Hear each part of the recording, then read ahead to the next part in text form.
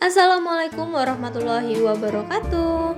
Welcome back Cing with Mama Dira Well guys, sebelum aku berbagi resepnya Jangan lupa untuk subscribe channel ini Nyalain loncengnya agar kalian selalu update dengan resep-resepnya. Dan jangan lupa share ke teman kalian dan komen di bawah ini ya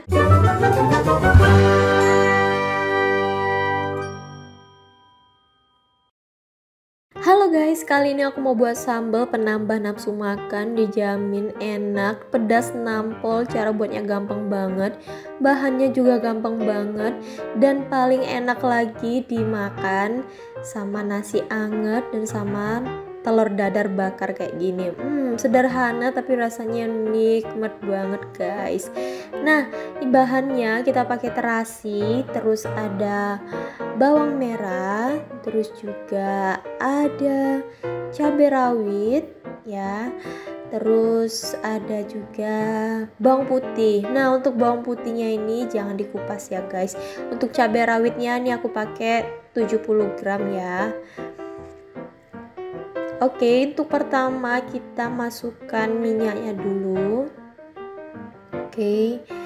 Kita geprek bawang putihnya, dicuci bersih aja, kulitnya jangan dikupas. Kita cuci bersih aja. Susah banget ya.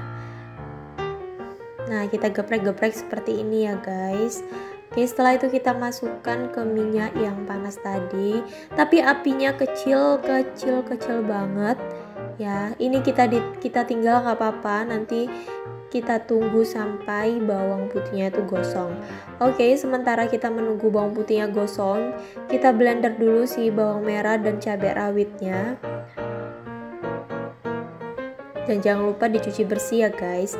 Nah kita blendernya nggak usah sampai halus banget kita blender kasar aja ya guys. Kalau udah seperti ini Nah ini bawang putihnya udah gosong kita angkut aja. Sebenarnya bawang putihnya ini gak ada gunanya ya Tapi ini membuat aroma di minyaknya aja. Jadi ada aromatiknya gitu ya guys. Jadi ada wangi bawang putihnya. Nah setelah minyak setelah selesai tadi kita masukkan si bumbu yang udah kita blender tadi. Kita aduk-aduk sampai rata Nah, setelah itu kita masukkan semua dunia permicinan, kita masukkan garam, kita masukkan gula, terus kita masukkan penyedap rasa. Seikhlasnya aja, sekira-kiranya aja selera ya. Oke. Ini masak masak sambelnya apinya kecil banget ya guys jadi biar si sambelnya ini gak mudah gosong dan gak kering ya jadi ini kita buat sambalnya itu nanti minyaknya ke atas semua dan sambal dan si bawang dan cabenya tadi benar-benar matang dengan sempurna. Lalu kita tambahkan air. Kenapa ditambahin air? Biar mateng ya. Biar mateng dan biar semakin meresap si uh, si bawang dan dan cabenya tadi. Nah seperti ini. Jadi ini minyaknya dan sambalnya itu aromanya uh, wangi banget. Dan ini benar-benar enak banget. Dan ini bisa disimpan awet banget bisa disimpan 1 sampai 2 bulan gitu ya guys. Kalau kalian mau buat banyak bisa banget dikaliin dua aja dengan resep yang aku kasih tadi. Nah ini sambal bawangnya udah jadi dan ini enak banget dimakan sama nasi panas.